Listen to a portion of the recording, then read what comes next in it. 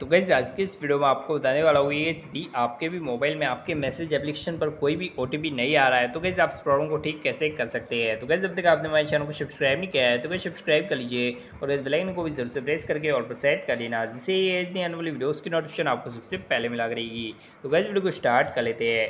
सबसे पहले क्या करना है गैस आपको मैसेज एप्लीकेशन पर एक लॉन्ग प्रेस कर लेना है। लॉन्ग प्रेस करते ही आपको यहाँ पर एक ऑप्शन शो करेगा ऐप इन्फो का। तो ऐप इन्फो वाले ऑप्शन पर क्लिक करना है। जैसे कि आप इस पर क्लिक करते हैं तो यहाँ पर क्या करना है आपको स्टोरेज वाला ऑप्शन शो करेगा। इस पर क्लिक करके आपको नीचे की साइड आपको एक ऑप्शन शो करेगा क्लियर डेटा वाला। तो क्लियर डेटा पर क्लिक करके क्लियर कैसे कर लेना है? कैसे डेटा क्लियर करने के बाद आपको यहाँ से बैक आना है। बैक आने के बाद नीचे की साइड आना है और यहाँ पर एक ऑप्शन शो करेगा ऐप परमिशन का। तो ऐप परमिशन वाले ऑप्शन पर क्लिक करना है और यहाँ से जो जो भी परमिशन आपकी अलो नहीं है, उन सभी परमिशन को यहाँ से अलो कर लेना है। तो यहाँ से गैस मैं इस सभी परमिशन को अलो कर लेता हूँ।